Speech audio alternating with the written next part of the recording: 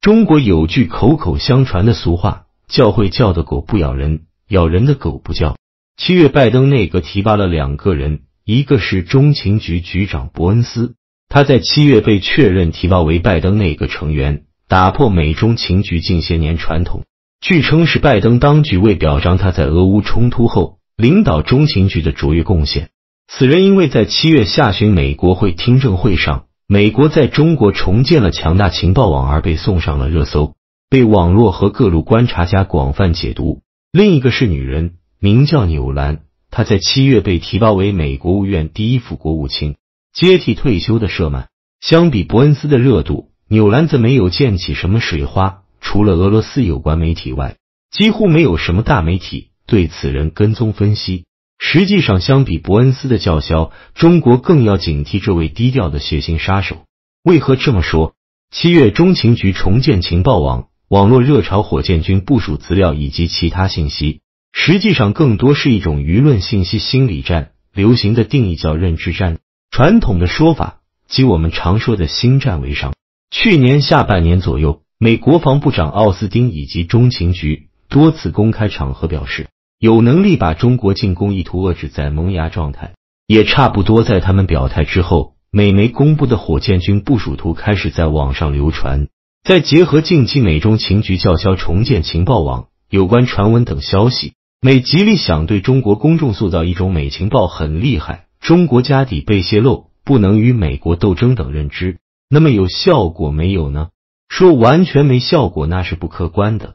比如某知名前主编就发布了影响很大的、斗争损失很大的言论。关心相关底牌建设的人也气得拍桌子，有一种恨铁不成钢，对相关战略能力起怀疑的错误认识。不过气归气，但对此公开的叫嚣，实际上更要正确的认识，应该首先问一个问题：美国人如果真摸清这种底牌，真渗透进了核心关键岗位，不应该竭尽所能的保护吗？这可是战略间谍中的战略间谍才对，可美国人偏偏利用其网络舆论优势大肆炒作，并通过台湾网军和美国机器人对中国舆论场道馆，这显然是不合理的。注意美中情局局长叫嚣的用词“重建情报网”，既然是重建，自然是在这之前被摧毁了。这反过来实际从美官方权威消息证明了近些年美中情局。在中国情报网被摧毁的传言是可信的，那么这说明什么？中国的反间谍手段坚强有力，被好莱坞神话无所不能的中情局，实际上也就那样，是可以击溃击败的。当然，世界加速进入百年以上级别大变局，这也意味着暗处的博弈斗争，或许远比我们从影视剧看到的更加刀光剑影，甚至血雨腥风。哪有什么岁月静好，不过是有人在负重前行。可直白的讲，百年变局加速演进，斗争事实上进入深水区。国安部公众号今天上线第一篇文章，反间谍需要全社会动员，实际上也明确告知了我们这个客观现实：国家安全人人有责，社会稳定人人有责。相比这种事实上有些直观的威胁，中情局向来都是我们警惕对象，也长期斗争了很多年，有经验。可纽兰的无底线。才是我们需要高度警惕和防范的。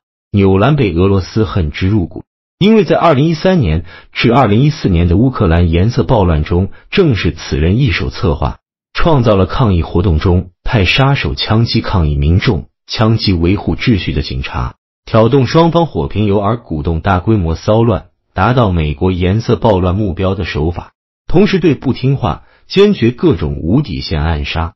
港报中的爆眼女事件，缅甸华裔女孩在抗议中后脑勺被枪击献祭事件，事实都是复制了乌克兰广场颜色暴乱做法。按照俄媒和部分美媒体说法，此女人是美国鹰派中的鹰派，美国内部都对其血腥做法发虚。美国在乌克兰各种军事生化实验室也由他大力推动。或许有人要说，此人过往只在东欧和欧洲对俄罗斯作妖，关中国什么事？那么真是如此吗？除了前述的港报事件外，今年三月初，美国派纽兰访问菲律宾之后，菲律宾就开始摇摆，在对中国关系上不是做美国炮灰挑衅，让中菲关系再起波澜。而比较血腥且国内少报道的是，在纽兰访问菲律宾后，菲律宾有至少五位与杜特尔特关系较好、政策一致的中高层官员意外死亡。七月三十一日，美国豢养的冯德莱恩访问菲律宾，也是美国加速菲律宾攻略、妄图南北打造基地、封锁中国的邪恶图谋之一。事实上，美国禁止中国香港特首出席 APEC 会议，大概率由纽兰策划推动。二零一九年港报事件传闻，此女是幕后总指挥，对于挫败其行动的关键人物之一，其肯定恨之入骨。不只是菲律宾和香港，近期孟加拉选举爆发较大规模骚乱，模式同样出现了乌克兰广场颜色暴乱迹象，而孟加拉是中国“一带一路”倡议的节点之一，俄罗斯同样在该国有重要投资。美国对孟加拉当局与中俄走近早就不满，因此相比于叫嚣的伯恩斯中情局长期斗争，中国更要高度警惕纽兰这个女人上位后更疯狂的在中国周边作妖，复制乌克兰模式，搞乱中国周边来之不易的稳定发展环境，延迟甚至阻断中国伟大复兴进程。注意，会叫的狗不咬人，咬人的狗不叫。这次拜登启用纽兰作为第一副国务卿。其实释放了一个重大信号：美国要加强制造颜色革命的力度。同时，中情局局长伯恩斯进入了内阁，他很有可能与纽兰配合，再次发挥民主小饼干的威力。拜登政府要通过他来树立对外强硬形象，为二零二四年大选铺路。纽兰接替舍曼的消息公开后，立刻引起了美国及欧洲网友的吐槽。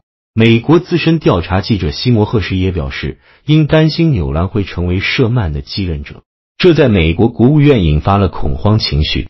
赫什指的主要是乌克兰问题。纽兰升官表明，白宫不打算很快结束俄乌战争。然而，美国也难以脱身。纽兰或许真的能战斗到最后一个乌克兰人。到二零二零年之前，纽兰在乌克兰是太上皇一般的人物，而且他又是乌克兰犹太裔。身边聚集了一批犹太寡头，包括泽连斯基的金主爸爸克洛莫伊斯基。而白宫直接负责乌克兰问题的是副总统拜登。纽兰为拜登立下最大的功劳，就是让拜登的小儿子亨特在乌克兰获得了大量灰色收入。亨特的钱都是自己赚的吗？那他还真是个商业奇才。他在美国都搞不出花样，却能跑到乌克兰大发奇财。拜登是协调美国援助乌克兰军事计划的最高负责人，而纽兰是执行人。美国副总统儿子在乌克兰做点生意，乌克兰人能不识相？亨特通过自己投资的基金会，至少在乌克兰接了两个医疗项目，而把项目交给他的就是纽兰。亨特有出息，拜登能不高兴吗？从指挥颜色革命以及生物实验室等方面可以看出，纽兰是一个干实事的狠人。比擅长夸夸其谈的布林肯更能做事。虽然都有犹太裔背景，但纽兰在美国国务院的资历要比布林肯要深得多。而泽连斯基也是乌克兰犹太人，这一男一女真的是将乌克兰毁得干干净净。纽兰成为美国第一副国务卿之后，拜登将让他负责印太事务，这表示纽兰将把他的工作重心从乌克兰及东欧地区转向亚洲。纽兰来者不善，纽兰不管走到哪里。动荡和战争总是紧随其后。美国外交团队进行调整后，下半年的外交战将更加激烈。纽兰这样的人受重用，说明美国很有可能会狗急跳墙。